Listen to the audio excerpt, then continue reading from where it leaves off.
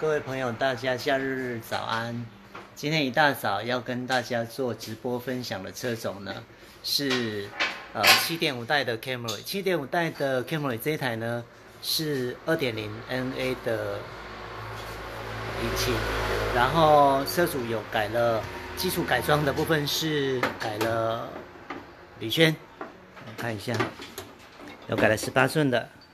十八寸的话是这二二五四五十八标准的规格哈，原厂的规格呃二点零的话有十十六寸跟十七寸的都是标配，那升级的十八寸。那今天要安装的呃是 KT 的道路版避震器，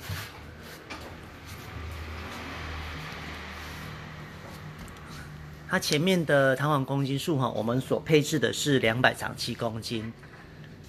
那本来的车高前面的话是大概是三指半到接近四指幅左右，啊，预计等一下降下来的车高呢，大概是两前面两指，后面的话大概一指半到两指幅左右的车高。可是前面的悬吊系统我们已经装好了哈，前面的像是七代的跟呃六代的一些油管固定位置的话，会稍微有点不太一样。那它的油管固定位置的话是在这里，呃。油管还有 ABS 感应线呢，它只有一个固定吊架，所以从这边的话呢就能做固定。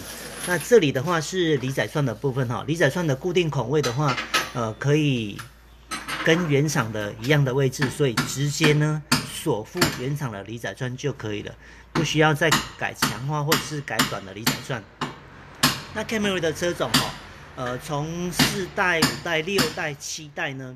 我们呢都有附上座，所以不需要拆原厂的上座来使用。而且 Camry 的车种呢，我们把引擎室打开，从引擎室里面呢就能够调整调整到阻尼。这个地方呢，顺时针的话，它会阻尼就是变硬；逆时针变软。一共有三十段的阻尼可以调整。那副的这个强化上座呢，它所使用的轴承呢，就是日制的轴承哈。这是原厂型的强化上座，我们都有副上座。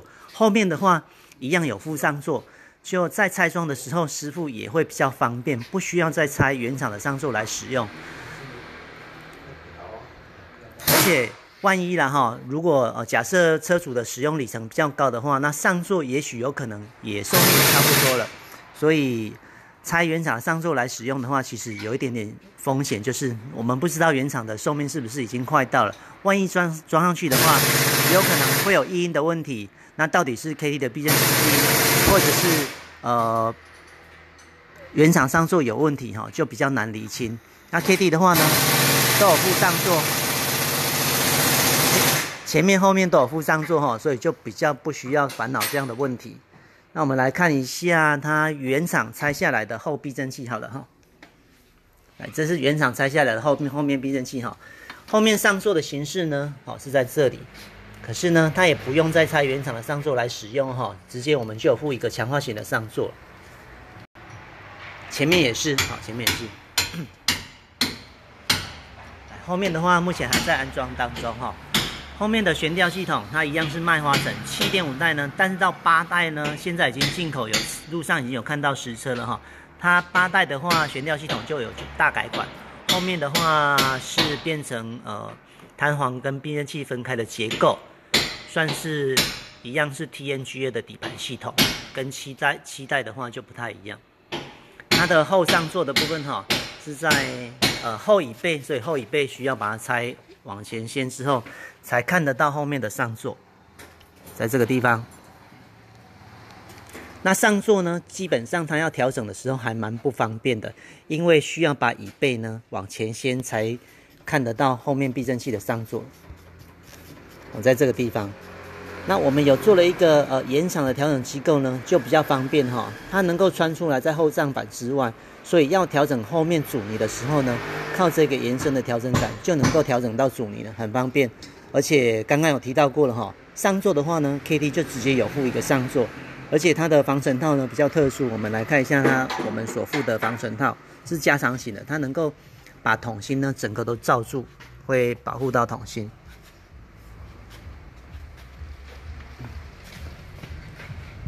原我们家的哈，来我们看一下它的。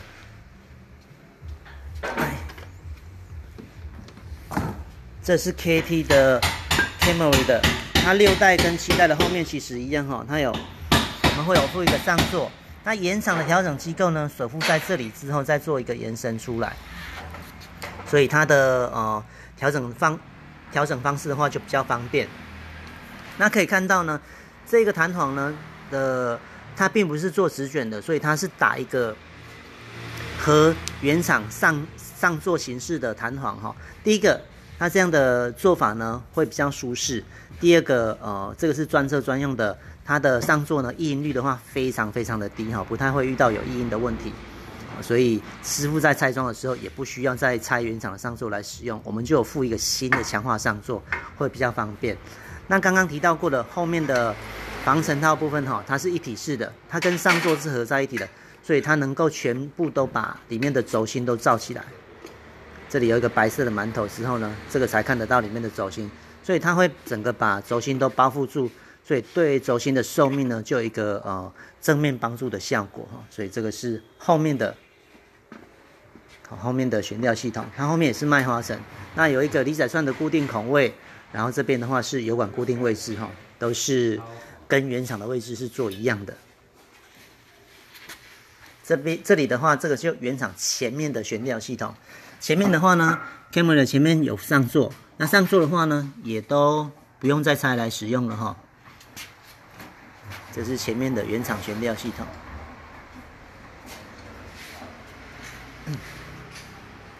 哎，右前也装好了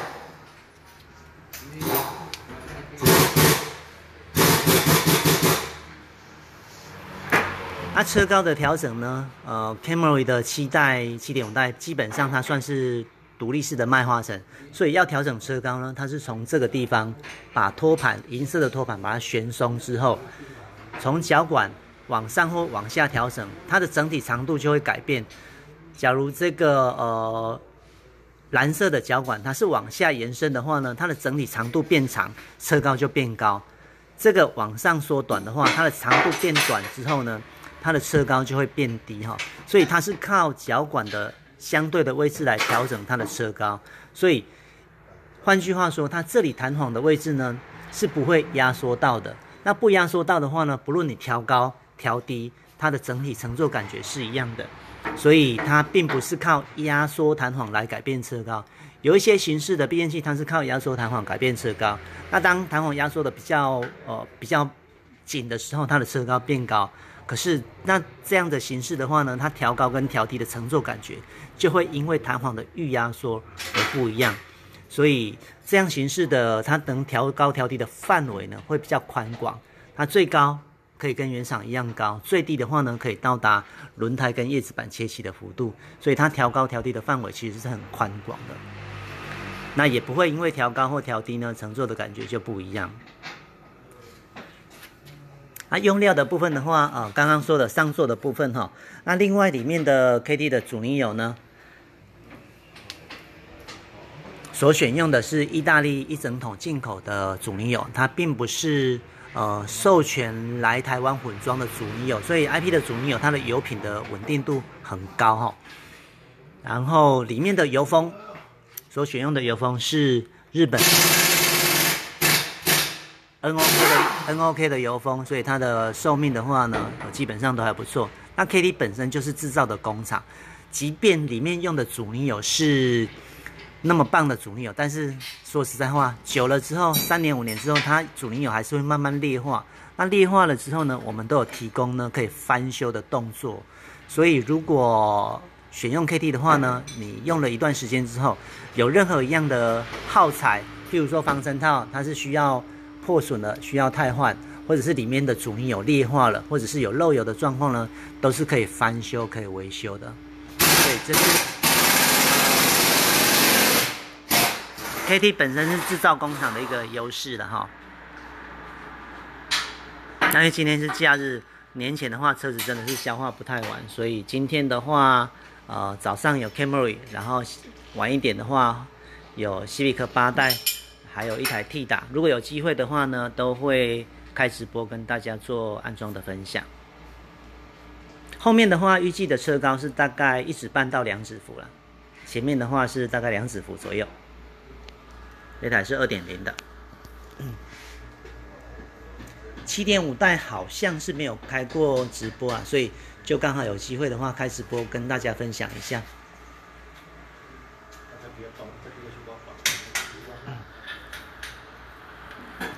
左后好像哎，好像已经装好了，我们来看一下。左左后好了哈。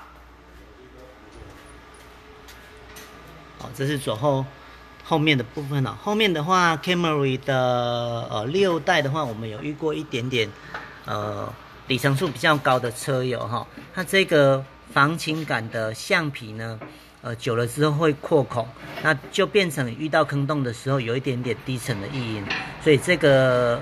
防倾杆的固定橡皮呢，它的价钱很便宜。如果里程数有一多了一点点的话，就建议呢，呃，车友要注意哈。如果有保养的时候，可以请技师呢一并帮大家做更换。这是后面的，它是大卷的弹簧，好，会比较 Camry 的后面呢比较敏感，所以后面呢做比较比较大卷的弹簧的话，它的舒适度好会比较好一些。啊，这是后面的离载串固定位置，就跟原厂一样，所以一样用原厂的离载串规格就可以了。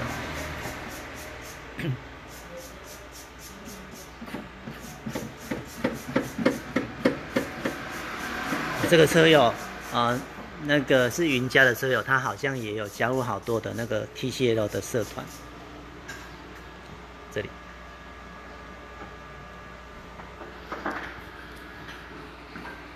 福敏，福敏，早安！哎，你的是你的车也是七代吗？这个是前那个拆下来的避震器，一只是前面，一只是后面，长的是后面，这个是前面。啊，现在三只变器都装好，只有剩下右后还在施工当中。联谊会的社团哦，了解了解。啊，陈挺你好，你好，你的也是你。你应该也是那个 Camry 的车友，对不对？你您的也该才刚安装哈，谢谢谢谢你们对 KT 的捧场，都是 Camry 的车友，谢谢大家。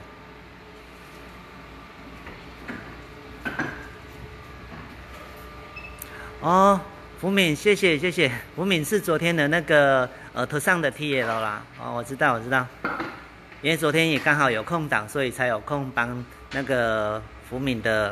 上铁了开直播，谢谢。啊，陈挺，你说中晚感觉很舒适啊？对，这个车友的话呢，王先生也是，他也是呃做了一台六点六点五代三千五的那个另外一个车友的车才决定安装 KT 的。谢谢你们的捧场。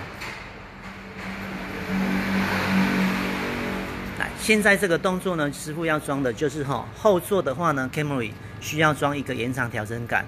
然后放在后后上板的上方，就不用再拆椅子，就能够做主年的调整了。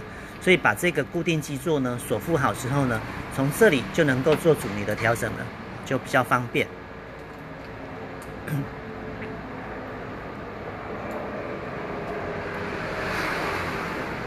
好，它的基座锁好之后呢，从上部这里就能够调整阻尼的，就不用再拆椅子。会比较方便一些。那我们在安装的时候呢，也都会做那个水平仪，会把它固定，了解一下它原来的 camera 的角度。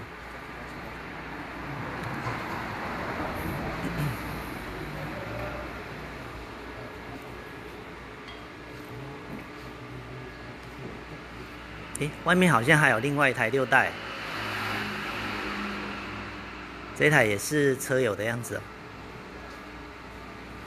哦，这台是六六代，对六代哦，它也有大包 Sport 版的。OK，那今天的呃直播呢就到这里哈。如果一样是开 Camry 的车友，有需要试乘或者是有任何问题呢，可以跟我们的后台小编联络哈。谢谢大家，好，今天直播就到这里，谢谢，拜拜。